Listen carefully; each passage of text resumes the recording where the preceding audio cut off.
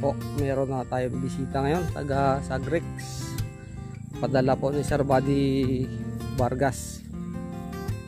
Meron siyang technician na pinadala rito para bistahin tong aming talungan dito sa Kings Agri-Farm.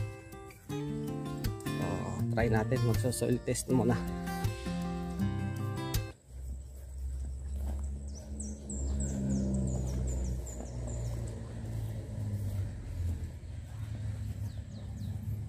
Ito po si Sir.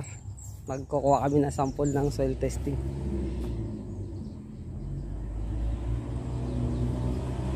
Acidic po sir. 5.5 po. Oh, baba no? Oo. Dating pinyahan po pala dito. Oh, pinyahan yan sir. Ah, kaya pala acidic kasi yung pinya kasi more in urea yung ina-apply ano. Yan ho ang kuha na kwan. Oo. Soil pH ng aming taniman dito. Sige sir. Ito po si Sir ng Sagrex. So, yan. Kaya ganyan karami ang kailangan namin fertilizer dito kasi tingnan nyo naman. Acidic na lupa namin. Actually sir, nagpalagay ako diyan ng kwan, lime sa ilalim. Ito, pinalagyan ko to. Yung apog. During land preparation po. Oo, pinalagyan ko siya ng apog tsaka ipot ng manok. Ah, yung ipot ng manok sir, gaano karami po? Ah, ilan yun ang nilagay nyo? Dito naka ano kami? Isang ilang sako ang isang Isang, ito. sa isang ganito. Pero sir, dry na dry na po yan. Oo, Na dry na yun. dry na siya. Kaya lang hindi naman puro, may lahok na siya ipa. Kasi sir, yung short term effect nun, maganda naman sir. Pero ang long term effect nun, makakapag-acid din po yun ng lupa. Oo. At the same time, may ipot sir, maraming bakterya po yun. Mm. Nagpupos po yun sa katagalan ng yun, yung mga wealthy, bacterial wealth. Oo. Doon ang maraming bakterya. So maigi at na ma- kahit pa paano naipapaliwanag niyo sa amin kasi yun lang ang nakikita namin sa mga kapwa farmers. Lagay sila na gano'n. Sige, lagay din kami. kasi wala po experience eh.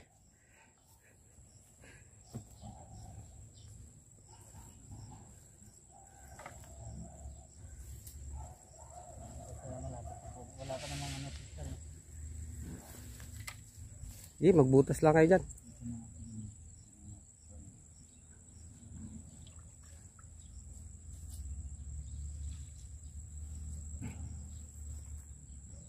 So ngayon malalaan na. Proning po ba kayo sir? Ah, Sa talong?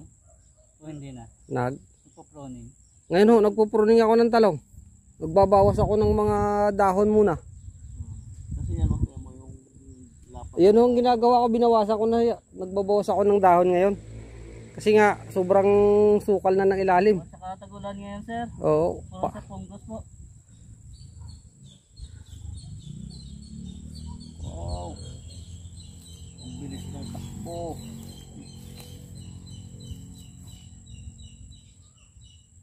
so, ayun po. Ganun pa rin. Hindi, mas mataas dito. Mataas to sa is. Size niya. Hindi kasi ito masyadong, yung part na to, hindi ito masyadong natamna ng pinya. Kasi makanlong to eh. Pero yung doon sa diretso ngayon, hanggang doon dati sa kinawang kalsada, pininyahanan niya. Kaya talagang acidic ho talaga. Actually, lahat ng tinamnan ko ngayon sir, puro galing pinyahan eh. Niya sir, ang laging ina-apply nila dyan is urea. Urea tsaka 2100 ho. Oo, amusol, oo. Yung too much nitrogen kasi sir, yun yung cause ng ano, acidity din po, yung sobrang paggamit ng commercial fertilizer, lalo ng urea po. Oo. Ngayon itong mga kano na to, kinonvert ko na siya sa gulayan kasi dito sa amin, napansin ko wala masyadong nagugulayan. Oo. Kaya sabi ko unahan ko muna sila. Habang hindi pa sila natututo, ako muna. Eh.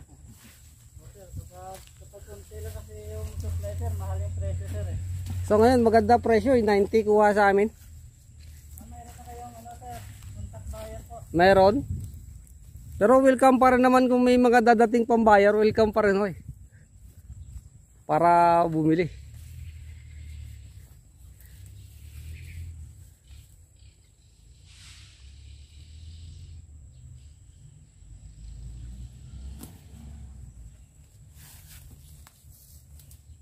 Magallanes sir, ano lang din sir? Yung uh, ano nila, more in drenching at saka spray lang din ha. Oo. Mas maganda kasi yung ganun. Sino ho ba ang pinakamalawang ang ano dyan sa Magallanes oh? Nandyan yata farm hero ng Estes eh. Kilala niyo sir si Alan Agrimano? Ayun, si Sir Alan. Sir Alan. Kasi yung mga tinatamnan naman ho noon, galing din sa tubuhan. Oh. Ngayon nag-convert na rin sila sa gulay. Kasi wala. Ano sir, yung kamatis nila, may ano na po. Ano na sila sa Jollibee? Wow. Sayang. Yung ano nila. Oo, kasi sila ang pinakamalaluang dito sa nasasakupan ng Cavite. Sila ang pinakamaluang ngayon ng taniman. Sana awa ng Diyos ngayong October magkaroon kami ng kamatis na galing ibang bansa Oh, na seeds. Awa lang ng Diyos baka Sa aling, makawin aling bansa sir? galing Morocco. Pero sa weather condition sir, ano Ay, din walang problema doon. Ano din dito sir? Parang Mas mainit doon pagdating ng summer. Ang taniman naman kasi doon, even summer. Tapos pagka winter, mayroon silang greenhouse. Doon ang ano nila doon. Kaya mas mura ang kamatis doon pagka summer.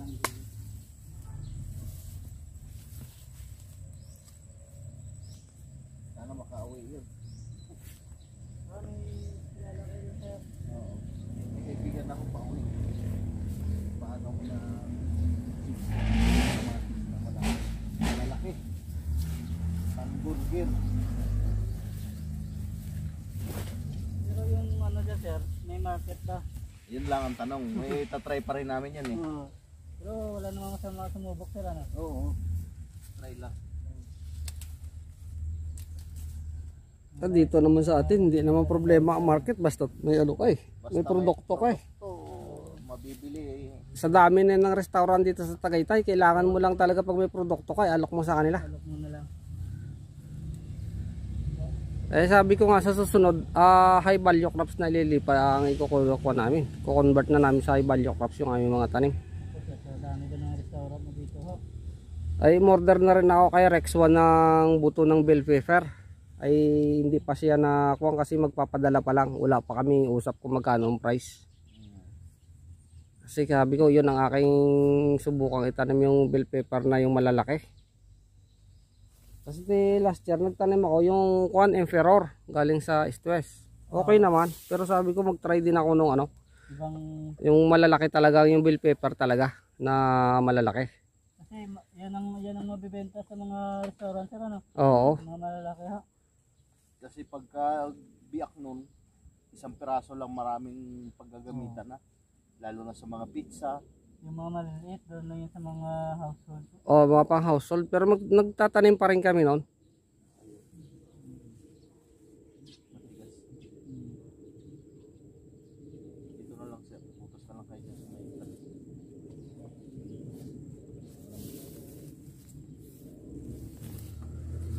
So ayan po, nag ah, ano kami. Kukuha kami ng sample ng pH ng lupa kung ano nang magiging status ng tinatamnan namin. Pero lamang na talaga rito, acidic ang lupa na tinatamnan namin kasi mga galing talagang pinyahan to eh. Yan kasi Bugbog na ng kwanto eh, bugbog na ng chemical fertilizer to, synthetic.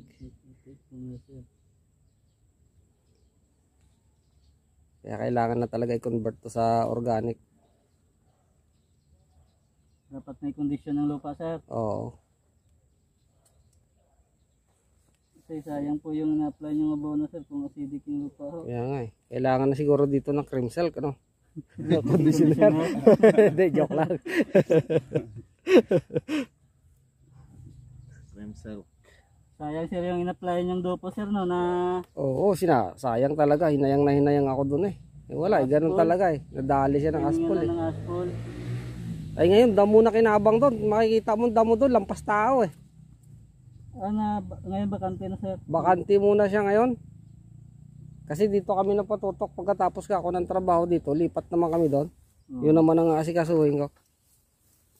Pero hindi naman talaga bakante yun kasi tinamnan ko rin yun ng kamatis tsaka sili. Kaya lang medyo tapos ng pakinabang kaya napabayaan muna ng kaunti. Dito naman sa bagong kuha na to. Dito naman sa bagong tanim gabi pumukos ngayon. Ito nga sir, ito lang palang muna yung tanim ngayon sir. Meron akong bagong transplant doon na kwan na sili. Yung Django dos. Django. Apan si Django sir. Oo.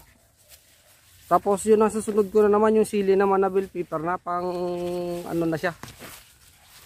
Pang December ko na na target. Oo.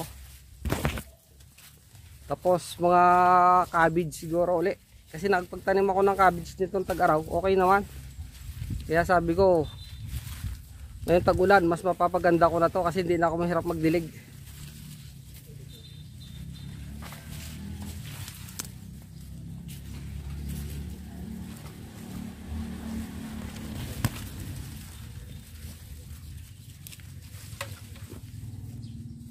Kailan yung huling harvest niyo po sir?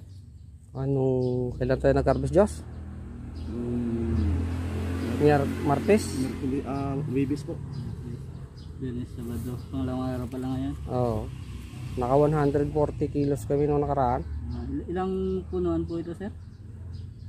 Kung ito siguro nabuhay lahat, baka nasa 3,000 to. Kaya lang, hindi naman marami rin namatay. Yung mga palagay na lang natin ng mga kulang-kulang na lang siyang 2,000.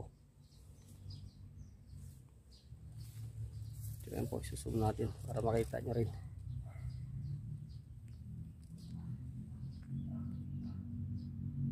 Sir, sitik pala talaga dito banda ho. Oo. Ito kasi yung mga lugar na to. Ito yung talaga ano ng pinya. Ang hindi lang talaga yung doon sa side na yun. Doon sa dulo. Kaya tingnan mo doon, ibang dating ng halaman kaysa Ito rito. talaga simula doon sa dulo na yun hanggang dito sa dulo na to. Pinyahan to sir eh. Oo. Ang hindi lang natamnan yung kabilang side kasi kanlong. Yung mga puno ng mangga doon. Kasi yung pinya, kailangan maarawan yan. Oo. 8 to 10 hours a day. So, hindi, hindi lalago po yun kung hindi naarawan.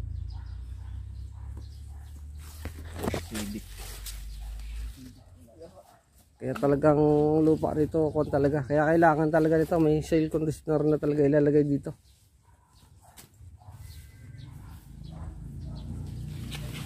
Kasi kung hindi mo talaga siya kondisyon, i-condition, sayang lang talaga gastos dito eh. opo sir.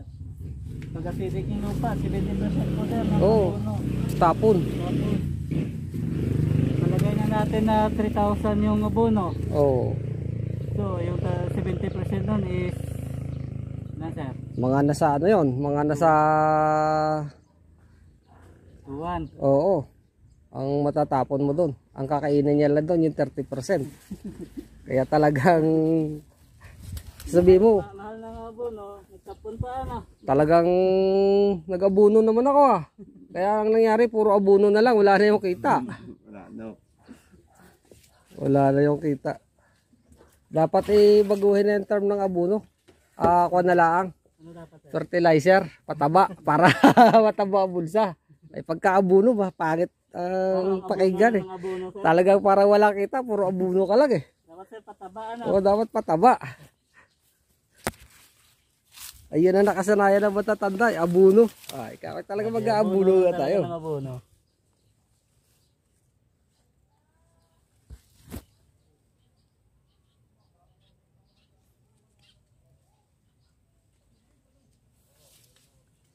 Sidik talaga sir.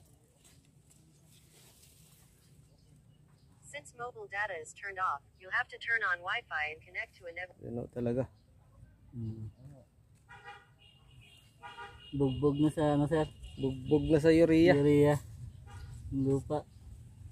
Sa mga taga-urea yan, shout out naman sa inyo. Baka gusto nyo naman magpadala sa amin dito pang ayuda. Kinya ba Baka naman gusto eh. nyo naman ayuda sa amin. Sagana ano yan? Oo. Isang pinya sir, ano na to no? One year bago mamunga no? Oo, kaya sabi ko, ah, dati naman ako nagpipinyahan din. Sabi ko magbawas na ng pinyahan kasi talagang masakit na sa bulsa. Ah. Kaya maggulayan na lang muna. Medyo madali-dali ang balik ng pera rito. Kaysa sa mag... Ah, maganda talaga kita sa gulayan sir. Lalo na kapag matimingan mo yung magandang presyo po. Ay katulad ho ngayon. Salisi ako sa kwan. Nagpruning yata Magallanes kaya wala sila kayo masyadong pinang ano eh. Magallanes. Oo, Sa ngayon sir, mayroon din talong doon. yung bago. Ah, ano yun sir? Nang pruning na yun. Mm. Ari, nung taginit, pinro nila. Tapos ngayon, namumunga na naman na ulit. Makakaabot pa sila sa magandang presyo. Magandang presyo nito eh. Magkano? Magkano kuha sa kanila? Magkano kuha kaya sa kanila? Ninety yata. O, 90 rin.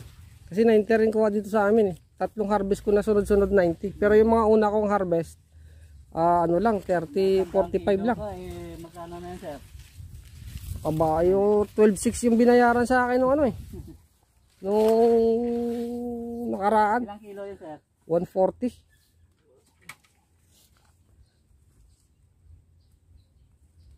Tatlong sunod-sunod na tigwa 140 Ilang araw na, kilos. naman ulit sir ano? Oo, bukas baka ako pwede na magpahalaw uli. Hindi agadahan sa gulay sir. Kaya sabi ko Hindi ka mabilis, maghintay na matagal. mabilis-bilis ang balik ng puhunan dito. Kasi ito lang medyo malaki na rin na puhunan ko rito. May gitna 50 na puhunan dito eh. Hmm. Eh, So kako kung ganun ang kwan Hindi sa, naman na kayo nakaranas ng ano sir, paglalaglag ng bulaklak. Sa ngayon hindi. Okay naman siya ngayon kasi medyo naagapan ko to. Pero hindi katulad ng mga dati kong unang tanim na talagang kung wala pa alam. Hirap. Tapos wala technician na nagtuturo. Tanong-tanong ka lang sa kwan, hindi ka naman tuturuan talaga ng tunay na alam nila eh. Saka yung iba eh, kwentong, kwentong barbero lang. Oo. Kasi meron naman dyan nagkukwento sa akin, di naman nagtalungan, ganyan ka ang gawin mo. Oo, na pinaniwalaan ko, pero sabi ko, sablay naman. Inisip ko, di ka naman nagkaranas pa magtalong, ba't ka, baka tao makikinig sa'yo. Niya alam sir nga hindi naman siya nagtatanim ano. Kaya sabi ko, maghanap talaga ako ng teknisyan. Aha.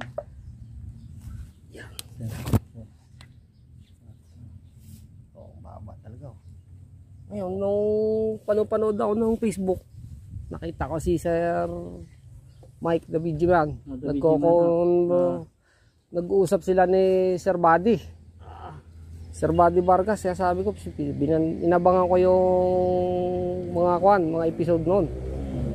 Tapos yun, lumabas naman si Kamarsi. Ay ka, okay to, may mapupulot ako rito. Hanggang sa lumabas si agribusiness. Ay kakoy, ah, magaling. Yun yun, yung pinanonood ko, yung pinanonood sa kanila, ay kakoy, apply ko to sa aking ginagawa. Para makita ko rin kung anong magiging resulta. So ito na ngayon, nagiging ko na siya. Pero kailangan ko pa rin talaga. Products na sir yung na-apply nyo dito sir. Ah, moron sa Grex. Oo.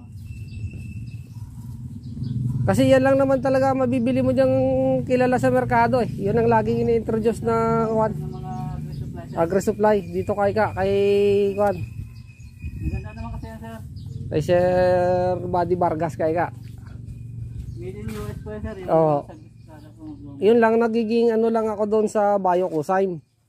Naging curious ako doon kaya sabi ko, tanong ko nga kay Sir Buddy kung paano ang kwan yun. Sabi niya, nag-usap na kami kahapon.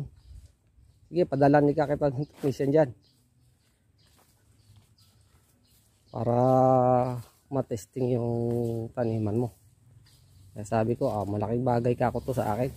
Talagang kasi kung hindi naman ako mag marunong mag soil testing dito na para dadalhin ko sa DA. Oo.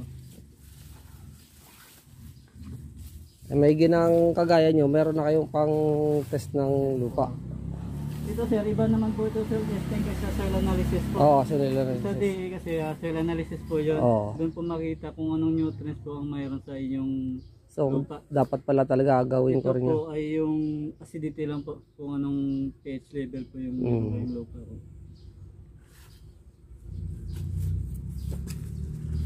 Apply na pala dito sir. ano? Oo, nakapag-apply na. Pwede naman siguro dito lang sa gilid. Oh, dyan sa gilid ka na lang kumuha. Sa mga tabi Kasi na yung to. na-apply, doon na naman sir ano. Oo, dyan lang naman yan eh. Para makita din natin.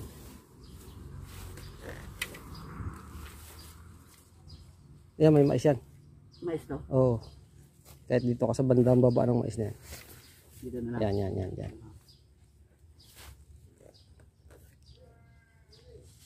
Kasi sabi sa akin nung taga-DE nung kwan, ah total pinyahan yan na yung tinatamnan, mag-apply ka na ng lime. Binigyan ako nila ng... Kahit di pa na-test, alam na nila Oo, talaga na kailangan mo acidic yan. Kaya nagpaano ako na binigyan ako nila ng lime. Kaya lang kinulang. Kasi konti lang naman, si ilang sako lang binigay sa akin, bali apat na sako lang. Ngayon meron dito ako may mga kaibigan na binigyan dati ng taga DA na hindi naman nila ginagamit. Hiningi ko. Ay, akin na lang yan, kaysa naman manigas lang yan dyan sa inyo. Hindi naman kayo nagnganganga. Lagay ko na lang dito. Sayang naman ho ano. Oo. Kasi di rin nila alam kung paano gamitin eh. Pero farmers din sila sir. Farmers din kailang i- alam mo naman hindi talaga ah introduce ang farmer turuan talaga.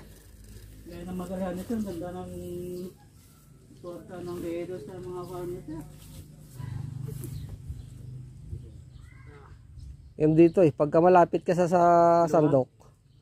Malapit ka doon Malapit sa ka doon, sir. Oo. Una kang makakatanggap ng biyaya.